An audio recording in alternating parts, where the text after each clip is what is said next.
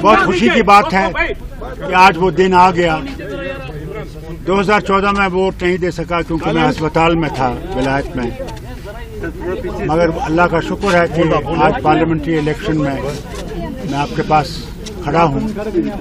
मगर अफसोस इस बात का भी है कि जहाँ ये कहते हैं कि कोई पत्थर नहीं चल रहा है, कोई वायलेंस नहीं है, कोई बाइकआउट नहीं है, वहाँ मैं आपसे कहना चाहता हूँ हर पार्टी के और खासकर हमारी पार्टी के वर्कर्स को सीधा सीधा वर्कर्स को, इन्होंने इन दो दिनों में बंद कर रखा है। एक तरफ़ से कहते हैं कि इलेक्शन बहुत आज़ादी से हो रहा है। तो मुझे बताइए, मैं होम मिनिस्टर साहब से पूछना चाहता हूँ प्राइम मिनिस्टर से पूछना चाहता हूँ, हमारे वर्कर्स को क्यों बंद किया गया? क्या वो डरते हैं कि वो हार जाएँगे? और वो ज़रूर हारेंगे, इंशाल्लाह हारेंगे। बहुत खुशी की बात है कि आज वो दिन आ गया। 2014 में वोट नहीं दे सका क्योंकि मैं अस्पताल में था विलायत में। मगर अल्लाह का शुक्र है कि आज पार्लियामेंट्री इलेक्शन में मैं आपके पास खड़ा हूँ। मगर अफसोस इस बात का भी है जहाँ ये कहते हैं कि कोई पत्थर नहीं चल रहा है कोई वायलेंस नहीं है कोई बाइकआउट नहीं है वहाँ मैं आपसे कहना चाहता हूँ हर पार्टी के और खासकर हमारी पार्टी के वर्कर्स को सीधा सीधा वर्कर्स को, इन्होंने इन दो दिनों में बंद कर रखा है। एक तरफ़ से कहते हैं कि इलेक्शन बहुत आज़ादी से हो रहा है।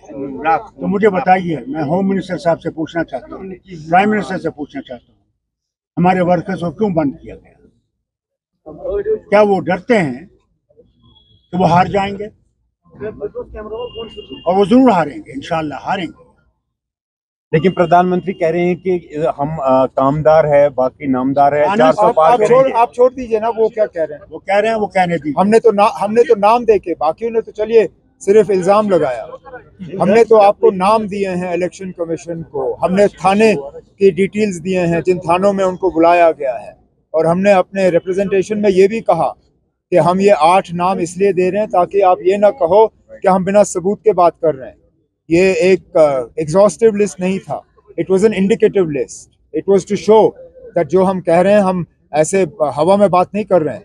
अब इंतजामिया की तरफ़ से ये फिर जवाब आया कि ये जी ऐसे ही बेबुनियाद इल्ज़ाम लगा रहे हैं. लेकिन हमने तो नाम दे के आपको कहा. हमने थाने के डिटेल्स दिए. उस चीज़ का तो आप जवाब दे नहीं सके. हमने किसी एक पुलिस के अफसर के खिलाफ कोई इल्ज़ाम नहीं लगाया.